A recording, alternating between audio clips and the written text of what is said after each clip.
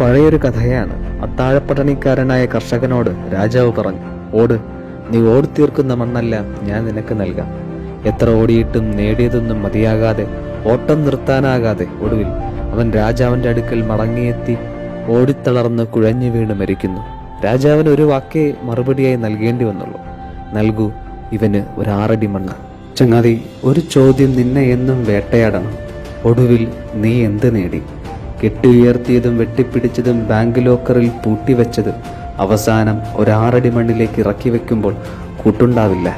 നേട്ടങ്ങൾ ലക്ഷ്യമാക്കിയുള്ള ഓട്ടത്തിനിടയിൽ കാണാതെ പോയ കണ്ണുനീർ മണികളുടെയും തുടയ്ക്കാതെ പോയ മിഴിമുത്തുകളുടെയും നൽകാതെ പോയ ഒരു ഉരുള ചോറിന്റെയും അവഗണിച്ച കാഴ്ചകളുടെയും വ്യാകുലങ്ങളോടെ നിങ്ങൾ യാത്രയാകും.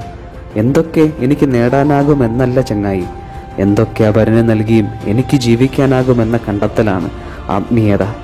ഓർമ്മയിൽ കരങ്ങളിലും കാലുകളിലും നെഞ്ചിലും ഒരു മുറിവുമായി നടക്കുന്ന ചെറുപ്പക്കാരൻ എന്നും ഉണ്ടാകട്ടെ ഒന്നും നേടിയിട്ടില്ല കൊടുക്കുകയായിരുന്നു. കാഴ്ചയും കേൾവിയും സമാധാനവും ജീവനും ഒടുവിൽ നെഞ്ചിലെ അവസാന തുള്ളിച്ചോരെ. എല്ലാം പൂർത്തിയായി എന്ന് ഉറക്കെ പറഞ്ഞ് അവൻ കണ്ണടയ്ക്കുമ്പോൾ ഓർമ്മകളിൽ അവൻ കണ്ണുനീർ തുടച്ചവരുടെ പുഞ്ചിരിയുണ്ട്. കരം പിടിച്ചുയർത്തിയ മുടന്തരുണ്ട്. പിന്നെ തലയ്ക്ക് മുകളിൽ അവൻ തുറന്നു തന്ന സ്വർഗത്തിന്റെ വാതിലും. ഇത്രയും സംതൃപ്തിയോടെ ലോകത്തിൽ മറ്റാരും മിഴിപൂട്ടിയിട്ടില്ല. സ്നേഹിത ഒരു ദിനം നിന്റെ നേട്ടങ്ങളൊക്കെ ചുരുങ്ങി ചുരുങ്ങി ഒരാറടി മണ്ണോളം എത്തും. അന്നൊരു പിടി മണ്ണ് നെഞ്ചിൽ പതിക്കുമ്പോൾ ഒന്നും ഒപ്പമുണ്ടാവില്ല. ഒരു ചെറുകെട്ട് സുഹൃതങ്ങളല്ലാതെ.